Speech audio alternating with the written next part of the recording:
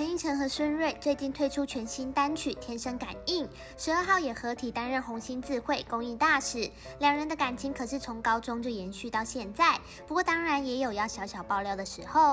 哦，我觉得我很会包容他。哎呀，这句话不是我要说吗？他竟然先抢走，哎，为什么没有啦听啊？没有，因为你看，就是他是狮子座嘛，他其实有时候个性比较冲，但我也其实也蛮难搞，所以我也很谢谢承他。认，长大有慢慢修炼这个坏脾气。真的老公那个很耐操，很耐对。我我我妈都说你打跟找都找不到。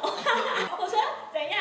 你女儿是条件很差那？是真的找不到，因为晨晨老公非常的棒了，有他他很好，他很好。对啊，所以有感进度嘛。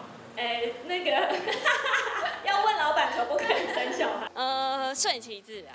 对对对，现在还很现在我也没有年纪到要高龄产妇什么，所以嗯先，工作。对啊，先工作，然后先开心的生活，就是说，可是有小孩你就不能出国喽，你就不能这样到处跑喽。你看那个隔壁邻居小孩很皮哦，你可以吗？这样一直吓他，他说不会很可爱，我就没辙，开心最重要，然后工作很重要，先工作。